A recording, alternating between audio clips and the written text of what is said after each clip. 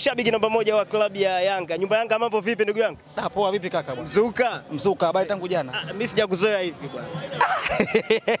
Ushanizoea ni una mwembe kidogo. Eh, Yaani nimekuzoea mtu wa vibe. Sasa naona kidogo umepoa au dalili sizo? Kwa hawa Awili hao, yani yao sisi na Simba unafasha kama na Simba kutokana nao wote ni sisi kama mti wetu yani. Ukitaka kuchuma maindi mahindi muda wote ma- kama mti wa mwembe ni ukiwa uani kwako. Muda wote ukitamani kuchuma embe unalichuma ndo sawa na hawa. Kwa hiyo hawa na Simba grupu moja. Hawa sisi wanapiga tatu ndo kaida yetu. Ila kizingine kiongezeka sawa. Ila tatu hapa zipo. Tatu za lazima. Yaani na hizo hiyo unaulizwa unatoa utoi. ndo sasa na sisi hapa leo. Tunawauliza unatoa utoi. Kwa hiyo kivyo vyote wanatoa tu. naomba kutolea mfano, yani hawa hawana tofauti na Simba kutoka kama sisi mta, m- kama uwani kuna mti wetu wa mwembe. Tukitaka muda wote kuchuma maembe tunawachunga na tunawachuma ndio sawa huyu na Simba. Sawa, sisi sio benchi la ufundi, lakini kuna mambo tunayaona leo. Tutarajie mabadiliko ya kikosi kwa sababu Jumamosi mna kipengele cha michezo ya kimataifa. Kwanza uelewe kitu kimoja kwanza. Yanga sisi ndio kikosi kipana. Kwa hiyo usishangae leo akachezeshwa huyu, kesho akachezeshwa huyu.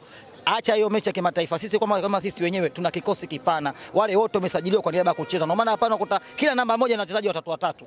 Kwa hiyo leo apate nafasi huyu, kesho apate nafasi huyu. Japokuwa ametuta figisu figisu, kuna mchezaji kafungiwa, lakini yote hayo mkabaji mkabaji anaweka nafasi yake anaokaa, yuko mwingine atacheza nafasi vizuri. Kwa hiyo sina kikosi kipana, sio kwa niaba ya kesho kutwa. Kesho kutwa wale wa kawaida tu. yani mimi katika timu ambaye sifikirii kesho kutwa yeye kesho kutwa kimataifa ah, ya kawaida tu. Mtaani wanasema kwamba mbio zilizopo sasa hivi ni za ubingwa, ila kuhusu kiatu tayari Moses Fili ana kila asilimia zote za kuchukua hiki kikombe. Bwana Yanga, wewe unasemaje? Hawa wenzetu wanapenda kuishi kwa kukariri, kwani hata huko kutoka nyuma silisemaga miaka minne yote ni miaka minne ya kwa wao, wanachukua wao miaka minne ubingwa. Wana kawaida kawaida yao, wana kawaida ya kukariri. Kwa hiyo acha wakariri tu, fukuzane. Moses Fili sipo kwenye ligi ya nchi hii, Maele si yuko ligi ya nchi hii, basi tutaona mwisho, tutajua nani ambaye atachukua kiatu, ila sio kwa maneno ya mdomoni. Kiatu kinachukuliwa kwa juhudi ya kucheza mchezaji wako, atapana perform vipi, lakini sio kwa maneno ya mdomoni. Full time ni kudai magoli mangapi? Unasema Full time Yeah. utashinda goli ngapi? kwa hii leo au Jumamosi? Leo hii Leo nimeshakwambia bro, tatu hapa zipo, ila wakifanya masala zinazidi tatu, ila tatu hapa leo zipo uhakika. Yaani za leo ni uhakika, tatu pale zipo, yaani hizo uhakika. Nimekwambia za sawa, nyuma, nyumbani kwangu uwani kuna muembe. Kwa hiyo muembe mimi najichagulia tu, leo nikatungue maembe mangapi, nikae nyumbani na familia yangu. Kwa hiyo muembe mimi nishachagua tatu zipo, na yule yule Falitoto leo lazima apige moja. Eh, bwana mambo vipi bwana? Poa, inakuaje ndugu? Kama kawaida, Alhamdulillah, namshukuru Mwenyezi Mungu. kwa faida ya mtazamaji wa Primitive. Ah, Mimi kwa majina naitwa Abdallah Sekeli, kwenye michezo napenda kuniita Sekeli Junior. Yeah. Leo ni, ni Yanga dhidi ya Ruvu Shooting. Una, unaona utakuwa ni mchezo wa aina gani? Ah, kwanza niseme nashukuru Mwenyezi Mungu, alhamdulillah ile siku imefika.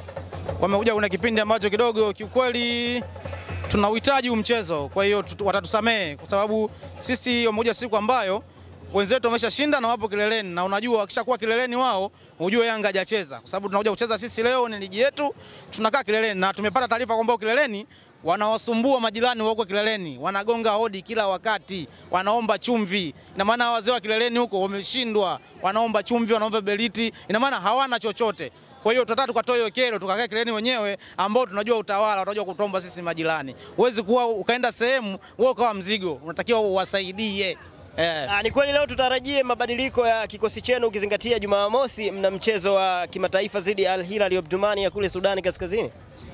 muda bado upo. Leo ni Jumatatu, tunacheza Jumamosi fulu mkoko wanasema no Aziz no problem. Kwa hiyo sisi kikosi ni kipana, yeyote atakaye atakaye mwalimu atakaye mpanga kwa siku ya leo anakwenda kutimiza jukumu la kikosi kikubwa, kikosi kipana.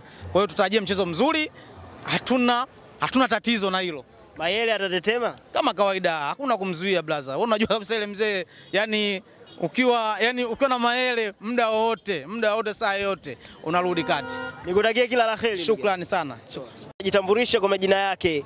Mimi naitwa Abdurahmani Kibwana Mwadachi, kwa jina maarufu hujulikana kama Kipusa. Natokea wilaya ya Newala, mkoa wa Mtwara.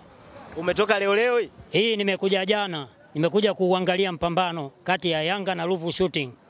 Nikupe pongezi mzee wangu, hongera sana. Asante, asante, asante, nashukuru sana. Sawa, uh, msemaji wa Ruvu Shooting Masau Bwile anasema leo atawapapasa, atapiga katafunua. Hii ni kweli au ni maneno tu kama maneno mengine? Hiyo ni kawaida tu ya masaubile. Mwaka jana si tumewafunga vile vile, na mwaka huu wategemee kupata kipigo tu, hakuna wasiwasi.